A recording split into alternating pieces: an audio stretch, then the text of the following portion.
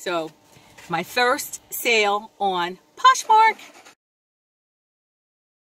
Hey guys, welcome back to the channel. So I am at the post office. Well, I thought I was going to the post office. All right, I did go to the post office. All right.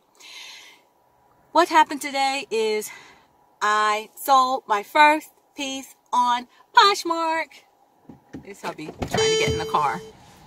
So my first piece on Poshmark and I came to the post office to mail it away and the post office was closed. So let me show you what the piece was.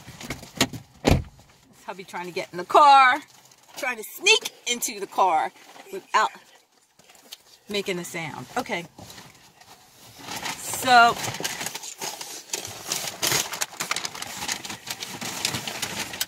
here's the piece, guys. Apologize for the lighting, but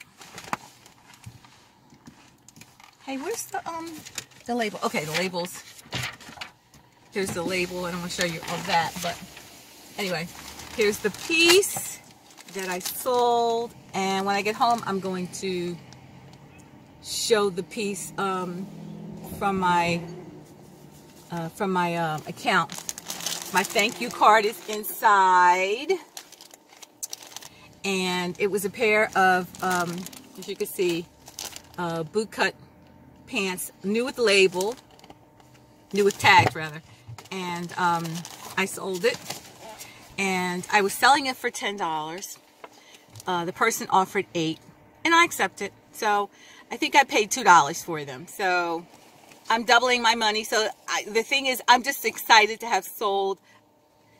I'm just excited to have sold the piece. That's all I'm saying. I'm just really excited to have sold the piece. So that's it. I'm really excited about. I'm going to insert in there. Um, this is me going to get the thing. As I said, they do send you a label. I downloaded the label and all that. So um, I'm going to, when I get home, I'll insert or somewhere, I'll just go to my phone and I'll insert the thing from my account where it shows um, the actual sold sign.